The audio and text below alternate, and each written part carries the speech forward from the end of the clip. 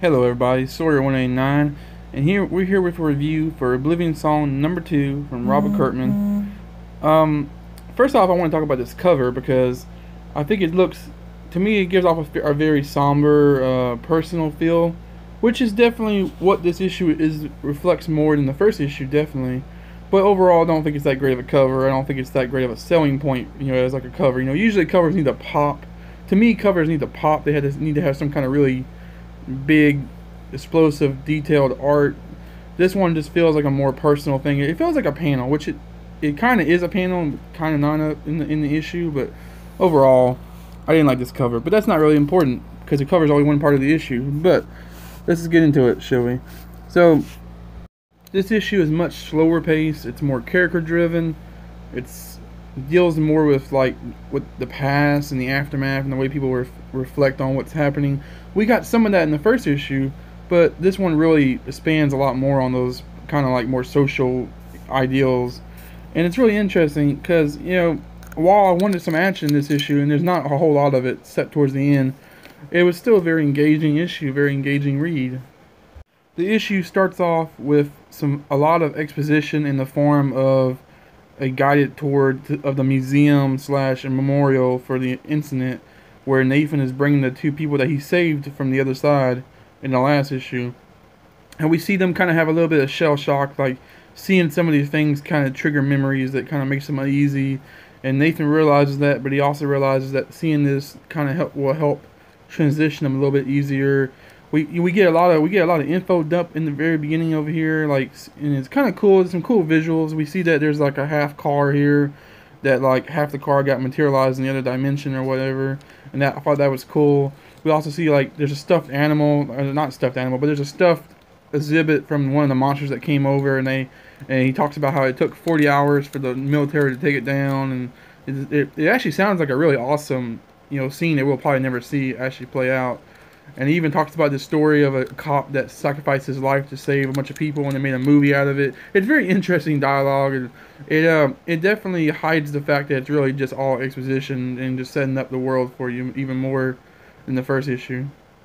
One thing I think this book has been doing a great job of has been to really give you all the meat and potatoes, the stuff you really need to know in the first issue, but still have a very quick pace in the first issue, and then we kind of slow down in the second issue while we give you the rest of what you really need to know and give you more character development, more character motivations. It was really good. Like I like how they do it. They a lot of other books can take a note from this because a lot of other books just throw you all the exposition in the first issue, and it feels like you're literally playing the tutorial of a video game versus reading a new story.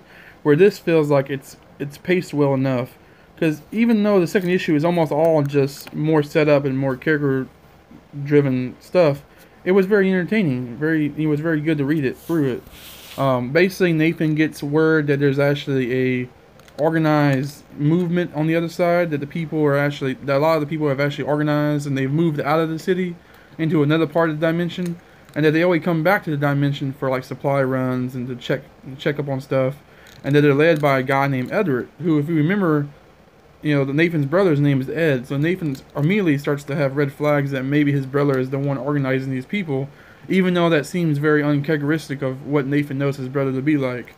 But still, it was interesting, and it gives it gives Nathan all the motivation he needs to go back and really look for people, even more so than he has been doing before, like a longer trip out, farther out than he usually goes into the dimension. I'm not sure. Is it called something else? I think it's just called. I think they actually called Oblivion in this in the, in the issue.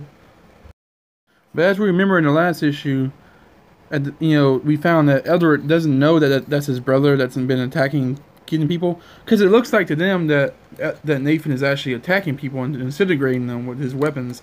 But in reality, he's actually transporting them back to our world. So of course, there's going to be some conflict once Nathan actually does get a hold of his brother and the other survivors. So all in all, I thought this was a really good issue, a good follow-up to the first issue. I am interested to see like what kind of you know crazy developments come in this story because right now it feels like the story is very uh, very focused. Like it, it could actually end in a few issues. I feel like it wouldn't really take that long to really get to for Nathan to get the hold of his brother, to have the conflict be over, and then they all try to get back. I feel like that could actually happen within a you know four or five issues. So and knowing Robert Kirkman, this is probably gonna be a long, long lasting series. So I'm interested to see like what kind of crazy developments happen, like what what kind of new antagonists come along, or new because there's all kinds of possibilities for new monsters to pop up, new kinds of species of life to appear, from to maybe for maybe another city block to get disappear or a whole state or something. You know, we could have this incident happen again. I mean, it's interesting to see to speculate on what could happen. So yeah, I'm definitely interested and, happy happy to see what happens next in this series. As always, thank you guys for watching. Like, comment, subscribe, and um, yeah, check out more videos as I as more books come out.